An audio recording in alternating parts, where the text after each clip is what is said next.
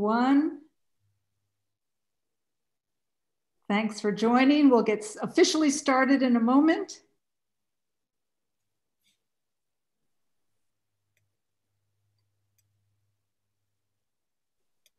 All right, good, let's get started. Good evening. Welcome to P&P Live. My name is Margaret Orto, and I'm the events coordinator in the Children and Teens Department at Politics and Prose. Thank you for joining us tonight for our event with co-authors Henry Winkler and Lin Oliver in conversation with Jake Tapper to celebrate the publication of Lights, Camera, Danger, the second book in their Alien Superstar series. A few announcements. Tonight, we'll drop the book purchase link for the Alien Superstar books into the book chat during this conversation. And again, we have book one and book two available. Uh, also tonight, audience members can ask questions, can ask a question by clicking Q&A located at the bottom of your screen. You can also upvote on a question that you'd like to see answered. At the end of the conversation, we'll get to as many audience questions as possible. Please remember that this is a creative, safe space, and we ask that attendees be respectful of one another in any questions and comments. Now for the event you're waiting for. Henry Winkler is an Emmy Award winning actor, writer, director, and producer with over four decades of success in Hollywood. He has created some of the most iconic TV roles, including The Fonz and Happy Days and Gene Cousineau and Barry. He is the co-author with Lin Oliver of the smash hit Hank Zipzer, Here's Hank series that chronicles the misadventures of an elementary school student with dyslexia that is based on Winkler's own childhood experience. He is also the co-author with Lin Oliver of the Alien Superstar series. Lin Oliver is a writer and producer of movies, books, and television series for children and families. She is currently the executive director of the Society of Children's Book Writers and Illustrators, a worldwide organization of over 25,000 members. She is also the author of over 40 books, including The Fantastic Frame and the Who Shrunk Daniel Funk series. Oliver is the co-author of the Hank Zipzer, Here's Hank, and Alien Superstars books. The authors will be in conversation tonight with Jake Tapper, who is, who is CNN's chief Washington correspondent. He is the anchor of The Lead with Jake Tapper and hosts the Sunday morning news show State of the Union. He is the author of several books, including The Hellfire Club, The Outpost and Untold Story of American Valor, and Down and Dirty, The Plot to Steal the Presidency. And now I'd like to turn it over to Henry Lin and Jake. Take it away. Thank you. So uh, such an honor to be here. Um, I'm going to lead the conversation with Henry and Lin, if that's okay. And uh, thank you so much. And thanks to Pennsylvania for ending the presidential contest so I could be here tonight. Um, Henry, let me start with you, if that's okay. Um, your previous books are realistic fiction. Um, but this is sci-fi fantasy. Uh, what made you decide to make the jump with the, the new book and the, and the previous one in the series? Well, they what is what is interesting is that they're all of them are comedies first. Uh, because we think that comedy is the, the, the gateway to the reluctant reader, uh, to the, uh, the young boys uh, reader, um, and what is interesting, eh, and I we just figured this out uh, in our last session together before COVID, was that all of our characters, no matter who they are, are always on the outside looking to get in. They're always a little bit the stranger in a strange land, and an alien is the perfect example of that. We knew that uh, children like aliens, they like outer space, and they also love the they're fascinated by stardom about working in hollywood. So we we know hollywood we don't know aliens as well but we just put them together.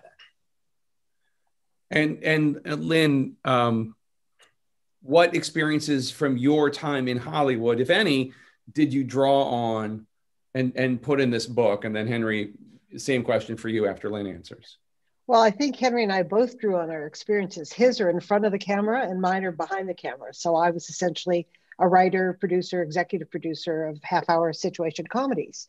And in this book, our alien hero, Buddy Burger, is the star of a half an hour situation comedy that's actually shot at Universal Studios on stage 42.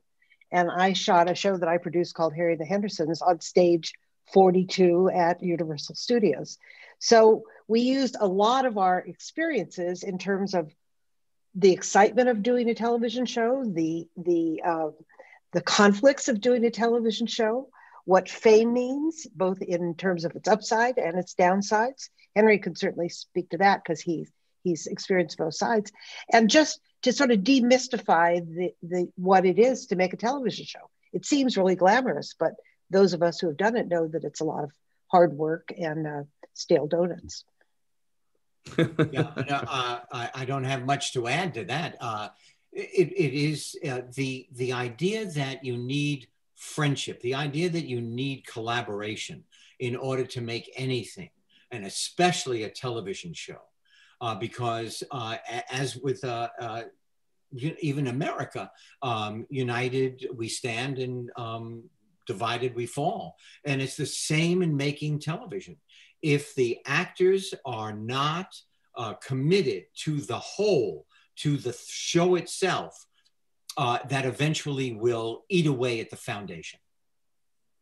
And Lin, what is what is the process that you work through, both in terms of collaborating with Henry and also uh, in terms of outlining uh, versus just plunging in. Uh, I know yeah. that there are lots of different kind theories about about the writing process.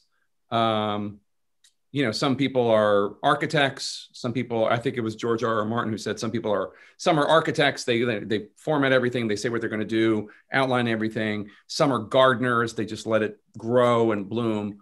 Where are you, and and how do you and Henry collaborate? Right. Well, in children's books, we have a slightly less elegant way of saying it than, than uh, George R. R. Martin. We say there, there are plotters and pantsers. And plotters are the people who outline and they're the architects. And the pantsers are people who fly by the seat of their pants with the plot. Henry is a pantser and I'm a plotter. So it's a very good collaboration because it means that we start someplace. We start with an architecture, with an armature, with an uh, with an architecture, and then depending on where the story takes us, and when the characters start to speak to us, we're we're willing to make a left turn. And sometimes that just takes us on a little on a little detour. And sometimes it takes us way off into outer space. Henry loves those moments. For me, I get a rash. a rash. but it is true. Uh, Lin has taught me all of the the rules of writing because I've never ever written before, and that's um, her her life. And uh, we start with, uh, Lin demands that we start with a, an outline. And so we work it out and we figure it out. And all of a sudden, by itself, the book starts to go on a journey. and then we are smart enough to go with it. And we've ended up with 35 novels. can you, Lin, Lin, can you give us an example? I, I know this process well because I'm I'm both uh, a, a, a, plotter and a pantser when I write my novels. Uh, I'm writing my second one, and I, I have a I have a, an outline, and then I, I, try to stick with it. But then it, it does tend to take on a life of its own, especially but after the first draft. In, in the second draft, then I start. Well, this this is so much better, and I just start running that that direction. Can you give us an example, Lin, of, of either in this series or or, or any other? Oh, I can give you a thousand examples. Uh, there, I think it was so. I think it was Vladimir Nabokov who said that a writer should should wear out his eraser before the point of the pencil, because writing is really about revision and rewriting. So we start out entirely sure that we have the plot down. And then halfway through, it starts not to exactly make sense, or we've taken a left turn somewhere. So in in this case, when when our main character is an alien who comes from a faraway red dwarf planet and lands on Earth, and he lands on the back lot of Universal Studios, where he certainly it's the place he is least likely to be a stranger in a strange land, because what could be stranger than Hollywood? Um, so we knew that was our premise, but we didn't actually know where we were going to go from there, because we thought that would sustain us. Well, it turns out that that was funny but then we needed to add plot elements. So rather than revising, we thought, what's the danger here? Well, the danger is that he's going to get discovered. like in the great movie E.T., when he gets discovered and the FBI and the government forces come in and, and want to put him in a cage. He gets pursued by someone from his planet. We had never really intended that. But in the second book, the one that, that we're talking about tonight, we thought we need more adventure. We need, so we created a character who was going to come from their planet to pursue him. And then we thought, well, she was a little dull. So we made her a shapeshifter, someone who could inhabit someone else's body. Mm. I don't think when we were doing the outline, we ever had any concept of her as that. Did we, Henry? As no, a shapeshifter. No. Uh, and and uh, she could also take on. Uh, she was the the gas company man, and she was a fan in a, at a party, and uh, you know she and literally just be, and oh she also became one, well, I shouldn't tell you this, but she became one of the cast members of this situational comedy, who now she's infiltrated his world. Uh, and it gets very exciting. Jake, I'm wondering. Oh, I'm wondering if you find out when when you're writing that you you think you're doing great work and you're writing along, and then you take a minute to go back and read the chapters, and you think, maybe not so much. Maybe maybe this needs a little bit more or more tension. Do you find that? Yeah, you know, the difference between the first draft of the of the of the novel I'm finishing up right now and the second draft, I handed in the first draft and I was I was not happy with it. I mean, I was happy that I had finished the first draft, but I was not happy with it. And um but by the time I that then I just, you know, spent a month marinating and thinking about it and thinking about ways to improve it and getting feedback from a lot of people. I showed it to a lot of people.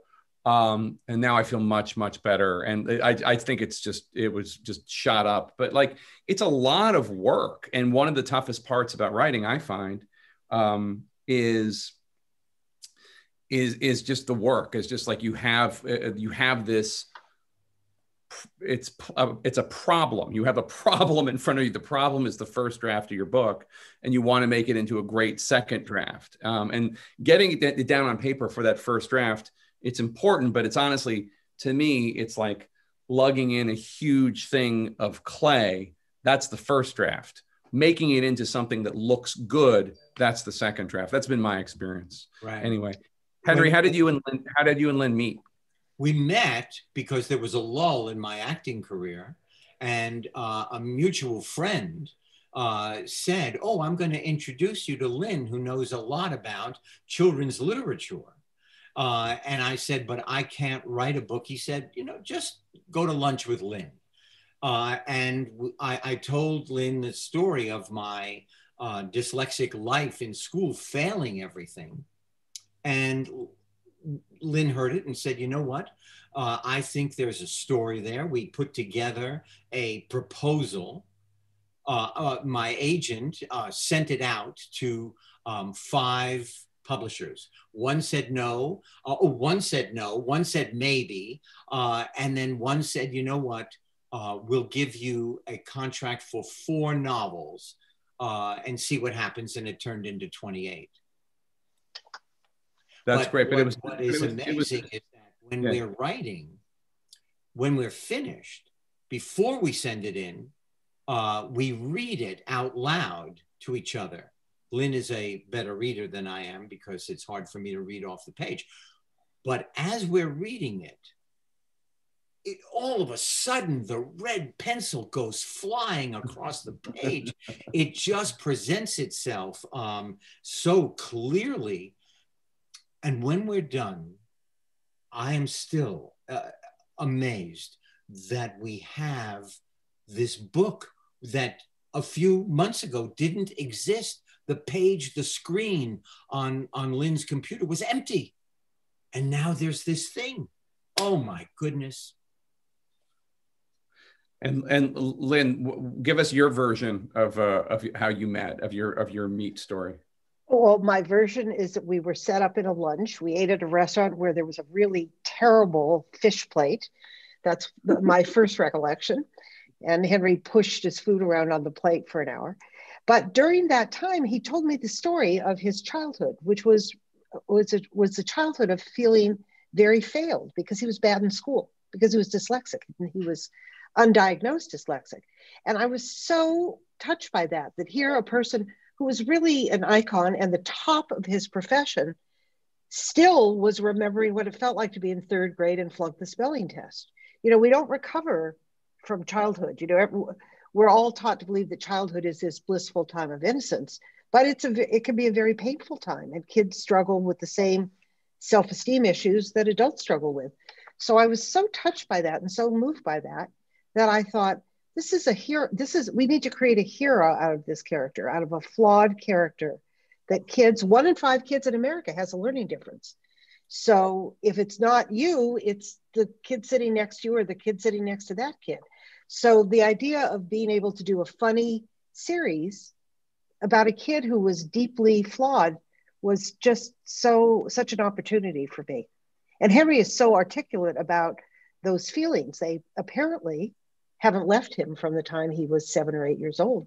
So they're they're very present in our books. Henry, uh, where did you grow up? I grew up in Manhattan, West Side, uh, on the, the same apartment Hank Zipzer lived in. I went to PS 87 uh, down the street. I, I literally could walk uh, to school. Um, uh, and uh, then I went to McBurney School for Boys and fail. I, I'm in the bottom 3% academically. My favorite story is that I took geometry for four years, same course, regular school and summer school. And that I passed it in uh, uh, August of 1963. And from that day, with the D minus, um, and, and I was allowed to go to college. If I didn't pass it, I was out. Uh, from that day until tonight, no one has ever said hypotenuse to me. that's, that's, funny. So, so Buddy, the alien, experiences um, struggle uh, yes. with acceptance. Uh, what happens?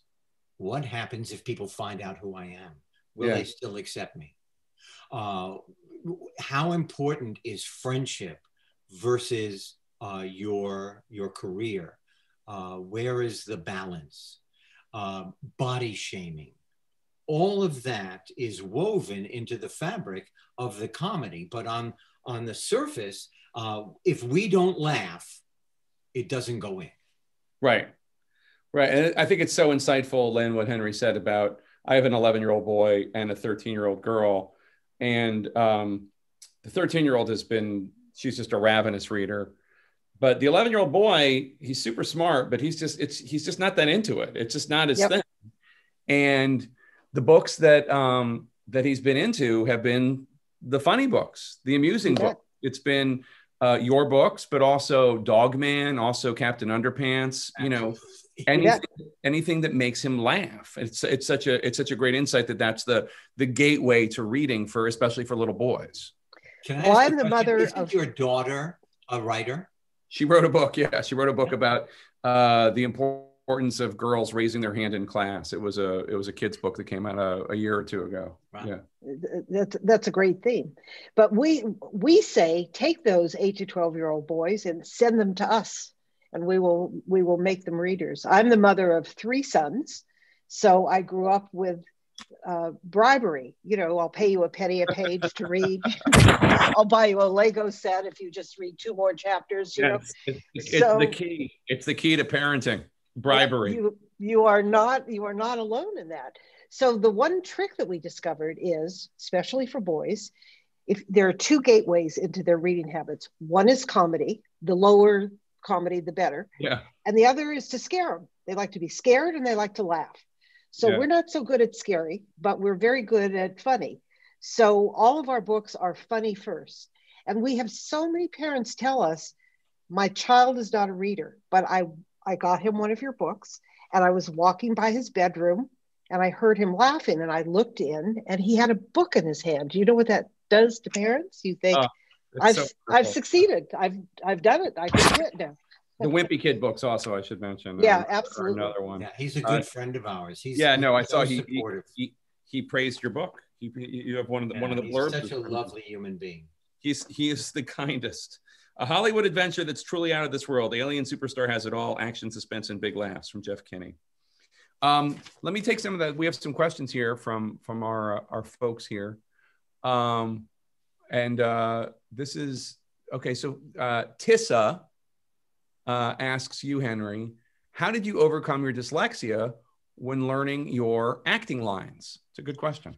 Okay, so here's the thing you never overcome your dyslexia. You only learn to negotiate it, you learn to work with it. Uh, I would get my scripts, I still do to this day, even with Barry. I get my scripts as early as I can. I go over them as often as I can because when we when i first started on happy days we would read around a table uh, and we've written this into the novel of course but we would sit around a table the producer the directors the actors and then all the the department heads costumes props and everything so they could hear what was going to go on this week.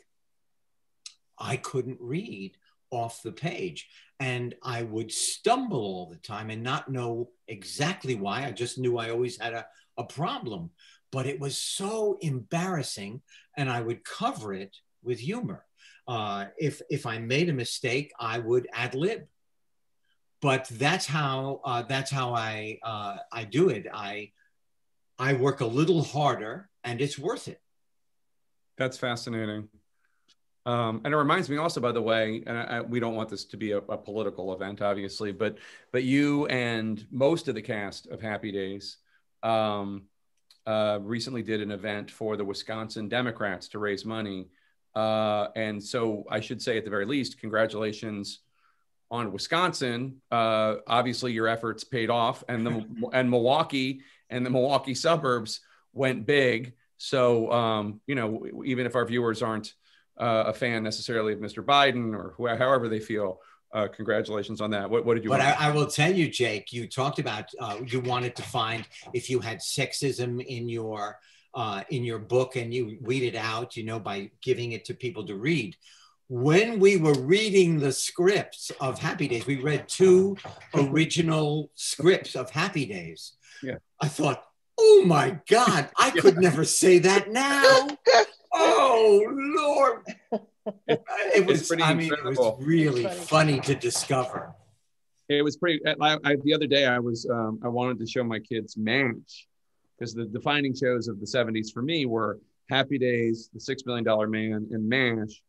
Um, and uh, yeah, you can't. They're they're all of them completely sexist. Just every single. Just now, at the in your defense, your show took place in the 50s. Yes, so I mean, but, but still, holy moly, it was really. It was as I was reading, I go.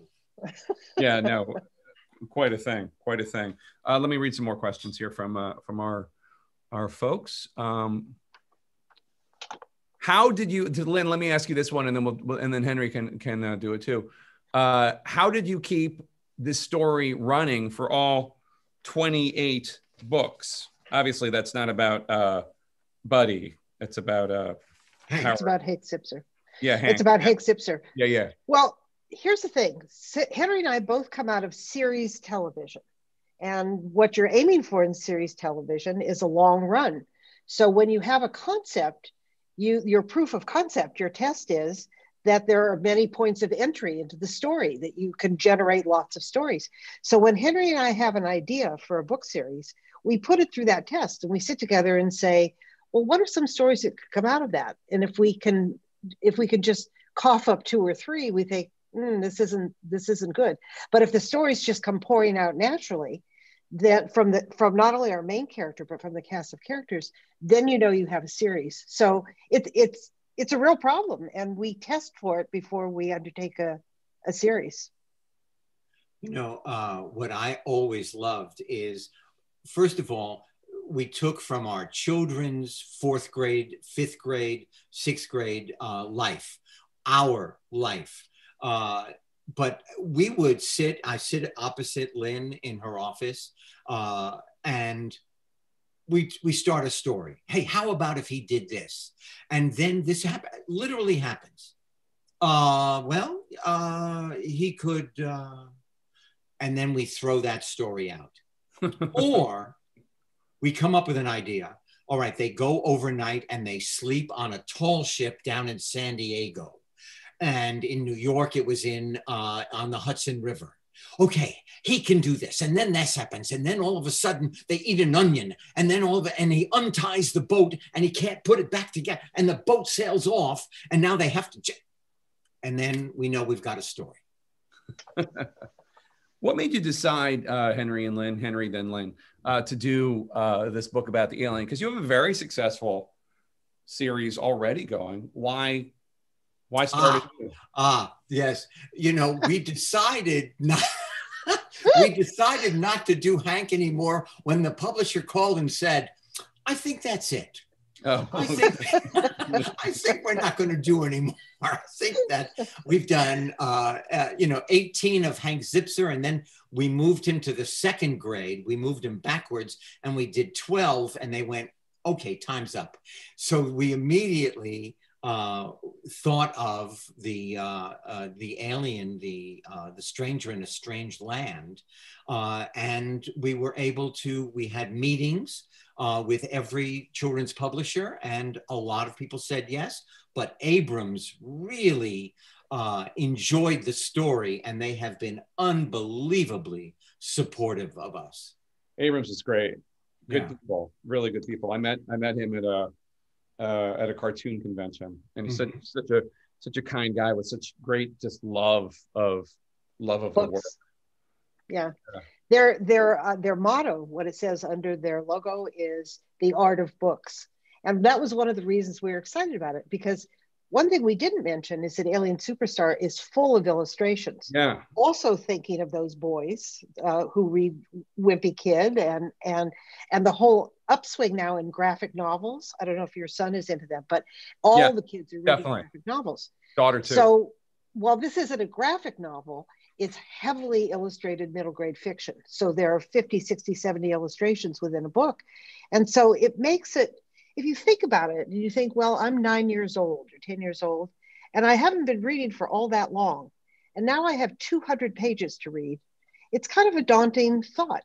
So if you could break it up with shorter chapters or illustrations and comedy, it makes it, it makes what we want is for reading to be pleasurable. We're not the school book, you know, we're not textbooks, right. we're not curriculum, we're not, uh, it's we're not deeply. It's yes, joy. Yeah. We want to be the book that you sneak into your backpack and yeah. and you read at recess. That would be that's our goal.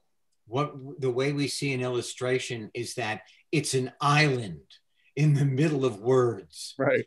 And you you swim through the words and you get to this great illustration.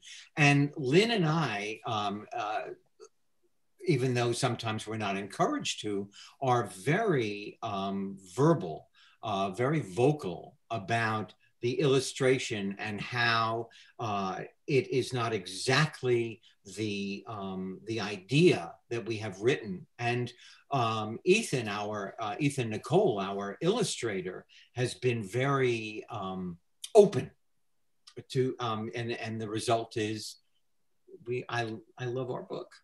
Did um did you pick Ethan? Did Abrams, the publisher, pick Ethan? How, how did uh, the, the publisher, the publisher did did Abrams give you like a choice, or they yes. just said that they here like five, and you got to pick one of the five, or yes. Okay, yeah, they're really beautiful illustrations.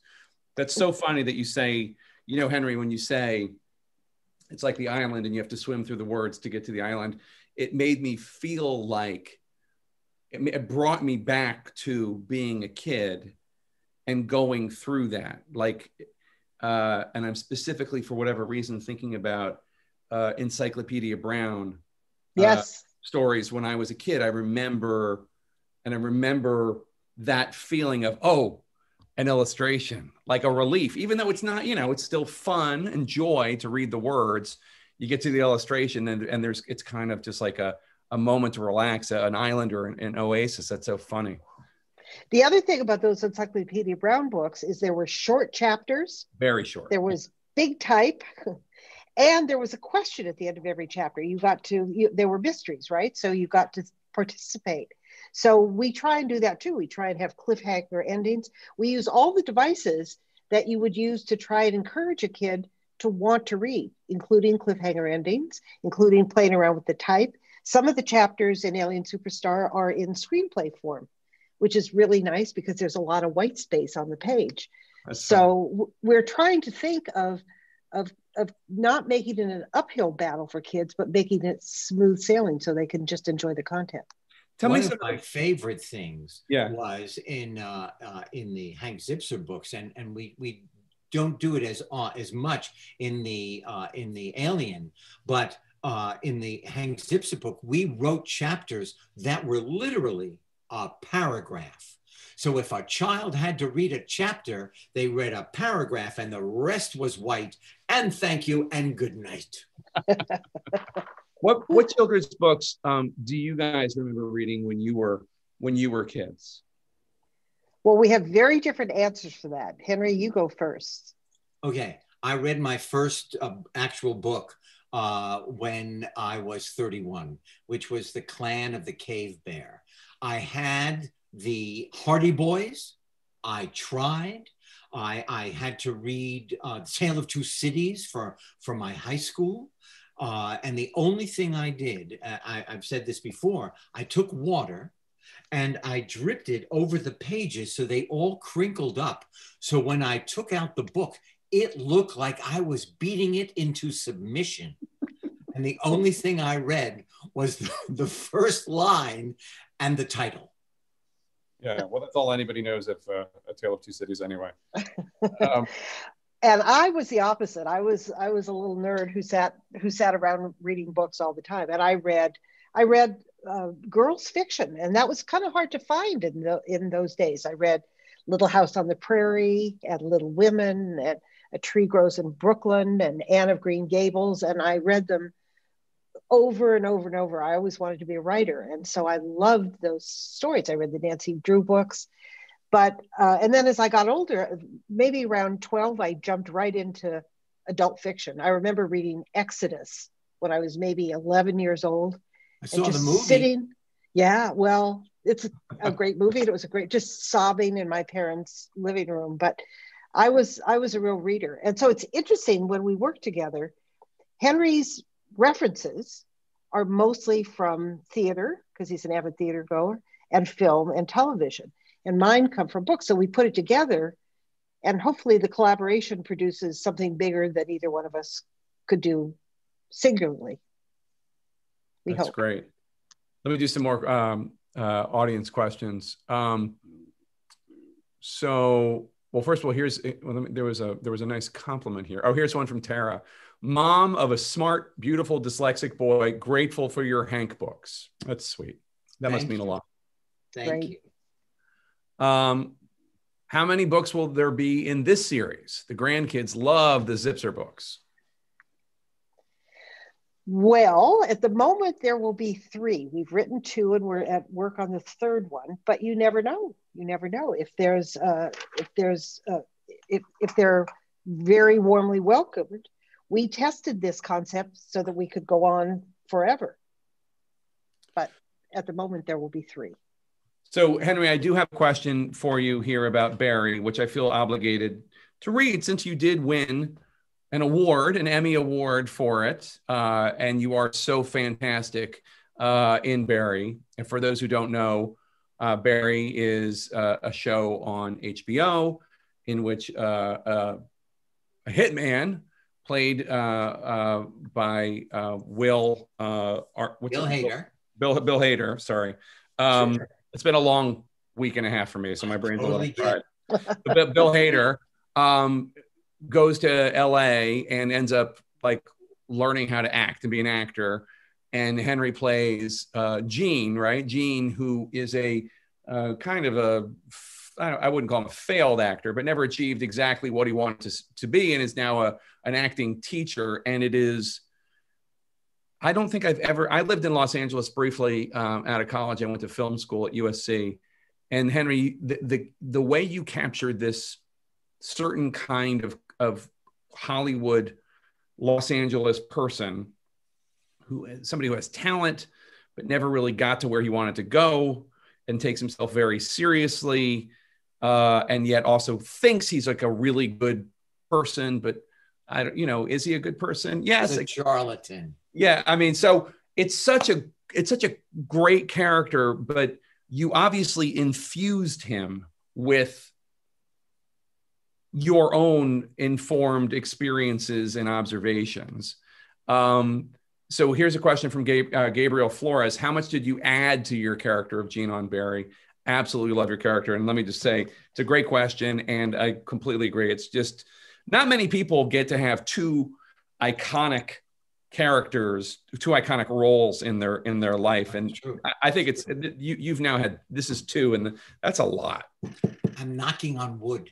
Yeah you know, because we have not gone back to work yet. We finished Barry in uh, December of 2018, and I'm looking that we're hopefully going to start again in the fall uh, of 2021.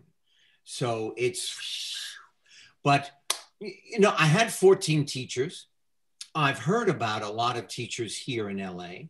I took them all and uh, I just uh, swallowed what I knew, and out came uh, Gene Cousineau. Now he was written as a total bad guy, uh-huh.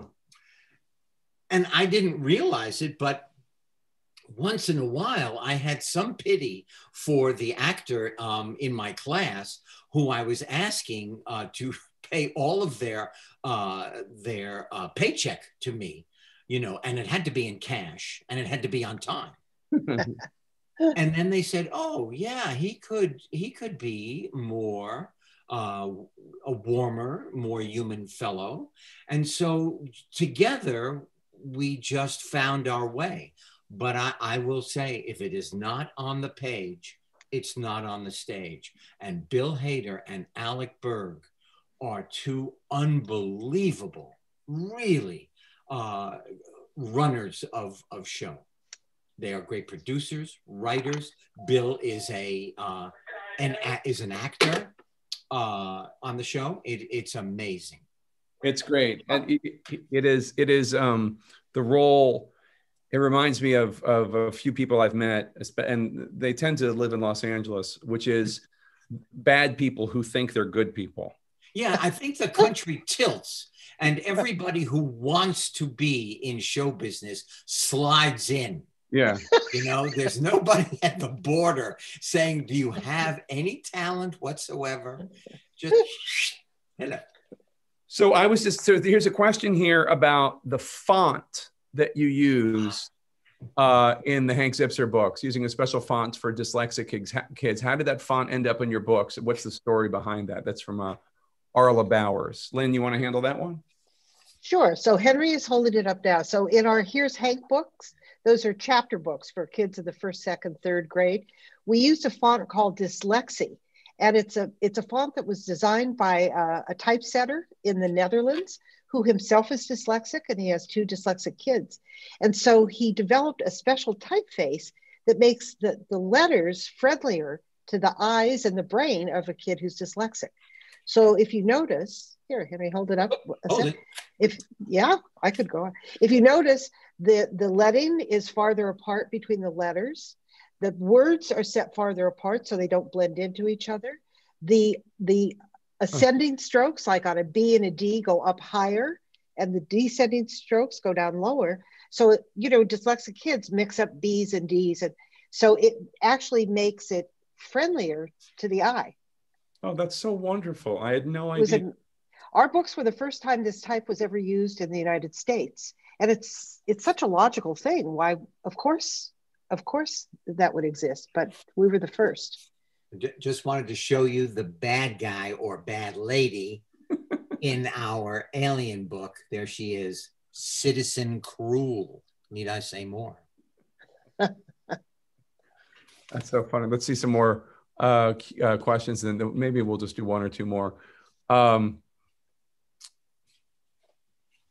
oh, somebody asked me how much sleep I've gotten over the past week. Not much, not much, but, but, that's okay. It's a privilege to be narrating uh, narrating this first draft of history as it happens. Um, Can I ask a question about that? Sure. When you are home when you're you've finished uh, your broadcast, uh, maybe you have time off, maybe it's the weekend. Is your phone by your side all the time so that you're on top of what's happening? Can yeah. you ever let it go? It's tough to uh, it's tough to let it go just because like even if I go on vacation, I'm going to have to be I'm going to have to get up to speed when I get back. Um, I'm also just like a news junkie, so even if I were, you know, uh, uh, uh, an actor or producer or whatever, or, or, or, a writer, I would I would be staying on top of the news this much. Um, so it's tough to. The, the, weeks like this last week though are just crazy, where it's just like you know I come home after everybody's asleep and leave before anybody wakes up kind of days. Those are just crazy, one after the other after the other.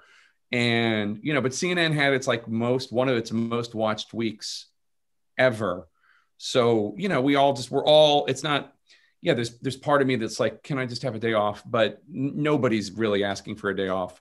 We all just work. And like, you know, the American people were, and people all over the world were just, they, at the edge of their seats. They wanted to know what was going to happen. We still want to we still want to know what's going to happen, but uh, but to a le- to a, a, lesser extent. All right, let me just do one more, which is just um, Henry. Are you planning on narrating uh, the audiobook version like Ghost Buddies? Hillary. Yes. As a matter of fact, uh, I just read. This is the hardest thing I do in my entire life. I read um, our uh, Lights, Camera, and Danger on uh, on uh, CD. I can't say tape anymore. And Lin and I uh, are are going are just embarking on reading the twelve. Here's Hanks. Uh, so Lin will read six, and I will read six.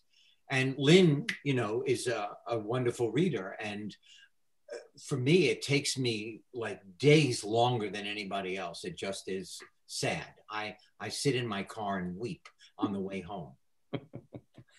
anyway, I think that's I think that's all the time we have if we want to bring uh, politics and prose uh, back. Uh, Margaret, thanks so much, and and Henry and Lin, it was so fun and so lovely talking to you, and and thank you so much for everything you do to bring pleasure to kids who need it, and especially to kids with learning differences who especially need it and especially need to be understood and to, catered to to a degree. And uh, I mean, it's just so lovely what you've done. And the exam, I mean, you've set an example. Other people are going to follow your example. I don't understand why every kid's uh, publisher doesn't use that special font. That sounds like a no brainer for everybody, for yes. everybody. But can I just say, um, on behalf of both of us, what a pleasure uh, to have you lead the conversation. And can I just say thank you for the last week because oh. you, you, I've spoken to you a great deal. You probably didn't hear me, but you and I were were having great conversations all night long. So I feel I, very close to you. I had an epiphany the other night. I was talking to my wife, and I realized that I was that the the tone that I was using during a lot of the broadcast was the tone that I use when I talk to one of my kids if they didn't do so great on a test or a quiz, and I was just like, all right, this is what's going on. Because everybody wanted the election results, no matter who you voted for. Everybody wanted the election results yeah. Tuesday night. They wanted to know. And it's just yeah. like, okay, this is what's going on. You're going to get to take retake the test. And like your grade will be the, you know, it was that kind of, I realized that's exactly the tone I took. This is what's going to happen. And then this is what's going to happen. We're all going to get through it together. It's going to be fine. We're going to have an answer. Um, so but you know what? That. We as the audience need that because yes. it's true. By the time Saturday came around, you're sitting there now. You're throwing marshmallows at the screen because I don't want to buy a new TV. But you know, you're throwing things. It, it you're like insane. It, yeah. it uh, you know, so we need very clear. The, it's, here's structure in this structure is the freedom. We will all be let out. Yeah. It'll be fine. It's going to be fine. And this is where we're going. I tried to, and I tried to lean into it Saturday morning. I'm like, we think we're going to have a resolution of this, and we think it's going to come soon. Everyone's, we're, we're all going to be okay. We're all going to be okay. We're going to get through this together. And uh, anyway, and we did. Although it's some of us are still working through it, but it will, it'll all be okay. Yeah, but you know how we all felt so comforted by Walter Cronkite? You know that was that was the way it felt watching you know it felt like exactly like this like we are like we're being held and supported through this time. So we feel i feel i've never met you but i feel extremely close to you. And you want to come for dinner tomorrow night? Well thank you. It was an honor. Okay margaret i'm sorry. All right. Well no thanks thanks to all three of you. You know um, thanks jake for taking the time tonight and uh, hope you do get some sleep and rest soon um, and Henry and Lin, thank you so much for sharing about the series. And, and um, we're just so pleased that you could be here with us tonight and tell us more about it. Uh, don't forget, audience, thank you for coming. And um, the books, uh, the the uh, link uh, to purchase the books is in the chat, and you can always uh, get the books through our bookstore, either online or phoning or stopping in. We're, we're open at all three locations now. Um, and you can follow uh, other wonderful events like this um, by going to our Politics and Prose website and seeing what's up. Uh, and I think that's that about wraps it up. Um, again, thanks thanks to our panelists for being here, our authors, and um, stay safe and uh, keep healthy. everyone healthy